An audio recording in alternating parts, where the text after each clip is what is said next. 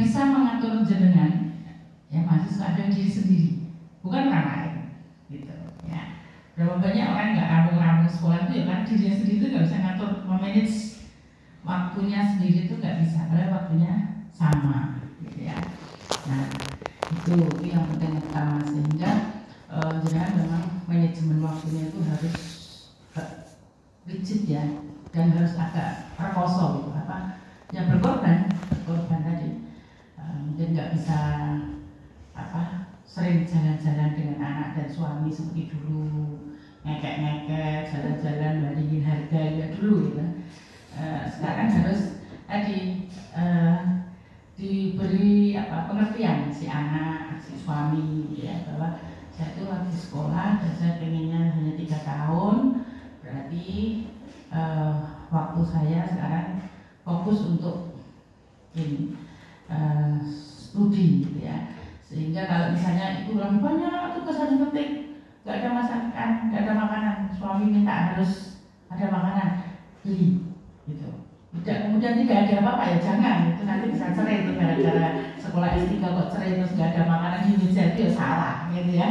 Jadi tetap ada makanan harus ada tapi tidak harus dimasak sendiri gitu ya. Nah itu. Ini kan perlu pengertian pasangan. Kalau tidak masalah sepele itu bisa jadi uh, konflik gara-gara oh mama saya ini males masak toh oh, mama nih sama masak itu dari makalah jadi ya itu juga bisa. Ya jadi uh, itu uh, perlu pengertian ini. Kemudian juga tadi tunda keinginan-keinginan yang memang tidak prioritas gitu ya. banyak keinginan yang ini ya. Nah, tapi itu ditunda dulu. Oke lah kita mau jalan-jalannya ke mana besok habis. Lah selesai kita mau pokoknya jalan-jalan semua keluarga misalnya itu hal-hal yang sifatnya tidak terlalu penting itu ya. Kemudian juga tadi waktu dengan bagi waktu benar-benar. Ini saya semester ini eh, mata kuliahnya ini, ini hari kuliahnya ini gitu kan. Kemudian alias 3 memang tugas tok isinya ya kan nah itu kemudian eh, ini ada yang kali ini nggak ada yang ngajar ya ngajar di masih. Nah kalau masih itu kasih dua hari aja. Ya dua hari. Minta sama adminnya atau TU-nya itu. Aku dijadwal Senin Sore selain itu saya ke perpus. Gitu. jadi sekarang kelasnya itu perpus gitu. karena kalau di rumah tuh males. Di rumah tuh lihat kasur lihat bantal tuh. Tapi kalau di perpus lihat semua orang belajar tuh. Kita nggak mungkin ngobrol gitu karena tempatnya memang nggak tidak mungkin kan orang untuk ngobrol maka kita akan terinspirasi dengan membaca disertasi-disertasi yang sudah jadi yang misalnya jaringan mirip mirip punyanya siapa itu kan kemudian bisa lihat kan variabel itu. Oh ini kita caranya yang gitu. Ya tidak hanya perpus ini ya bisa perpus-perpus yang lain yang ada psikologi psikologinya itu sehingga kita bisa selancar. Kalau di sini ya terbatas hanya itu. Kita juga adanya cuma itu ya uh, muridnya kan nggak sebanyak misalnya UGM atau yang lain gitu. Nah itu bisa kita uh, tadi kita jalankan ke secek lah pokoknya nyari nyari contoh-contoh uh, disertasi yang sesuai dengan ini uh, judul kita gitu. Ya kan? Dengan melihat itu kemudian terinspirasi. Tapi kalau kita nggak pernah lihat karya orang terus kita buat itu nanti akan keliru. Ya seperti kan nggak pernah lihat bakwan bikin bakwan. Jadinya bisa lain gitu. Karena nggak pernah melihat dan merasakan bakwan itu gitu ya. Sama juga disertasi nggak pernah lihat nggak pernah baca. Kita mau biar juga nanti keliru gitu. Ya itu dan e, misalnya yang hobi mubalik ada yang mubalik ya. Nah itu perlu dikurangi jumlahnya. Bukan dilarang dikurangi. Karena antara e, apa kompetensi mubalik dengan kompetensi e, untuk S3 itu beda kalau kamu balik itu bagaimana menyenangkan yang mendengarkan gitu. tapi kalau menulis itu bagaimana tulisan kita sesuai dengan aturan karya ilmiah Jadi beda sama sekali. Maka sering Pak Mukti dulu ya, Prof Mukti Ali ya, itu memarahi Pak Muhammad Mukotes ya. Hmm. Oh ini rampung-rampung kakek pengajian. Gitu. Jadi pengajian itu baik, pakai kakek itu jadi nggak baik, gitu ya. Sini ada anu, sehari itu sekali lima kali lah pengajian. Akhirnya apa? DO di tiga kali S3 gitu. Jadi itu tidak boleh dicontoh.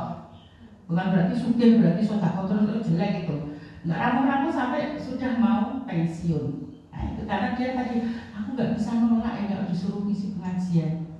Tuh, nah, harus ada berani nolak gitu. Jadi dikurangi frekuensinya gitu.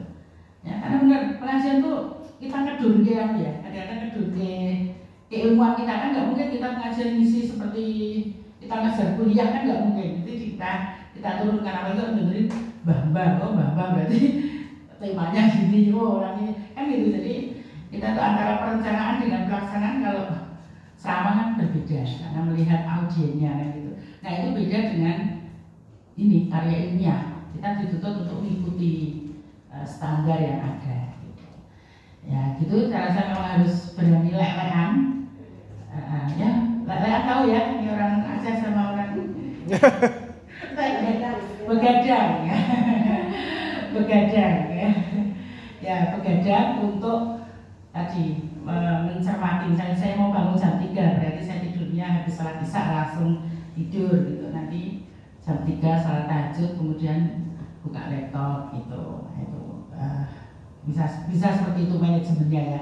Memang pada awalnya harus ada apa ya sakit dulu memang ada-ada merubah tubuh kita untuk merubah pola tidur itu biasanya uh, ada sakit dulu rakyatan seminggu itu uh, apa adaptasi ya untuk tubuh kita. Biasanya bangun jam 4 atau jam ya subuh nih kita ajukan sedikit jadi jam 3 ya, gitu, ya.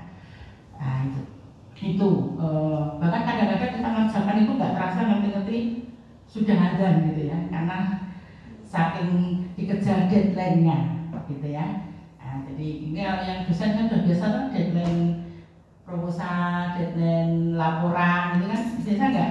Biasa kalau dosen biasanya kayak gitu ya. Dosen nggak stres nggak dosennya dosen harus stres. Ya gitu. Oke saya rasa itu aja. Uh, kalau pengalaman nanti sambil kita ketemu di kan bisa cerita bagaimana bu caranya untuk apa, mengatur waktu biar cepat rampung gitu ya. Itu nanti kan bisa dalam kita bisa sharing pengalaman. Ibu-ibu yang punya anak pasti beda loh ya karena waktu ibu itu lebih lama ya. Sejak matahari terbit sampai mata suami terbenam nanti malam masih bisa mengobati suami yang sakit mah nah, gitu ya. Jadi itu harus harus lakukan juga kira dewasa semua tuh kayak sih oke saya rasa itu nanti Pak Safri, Pak Azwar ini pengalamannya lebih banyak karena sudah lebih senior. Monggo Pak. Assalamualaikum warahmatullahi wabarakatuh.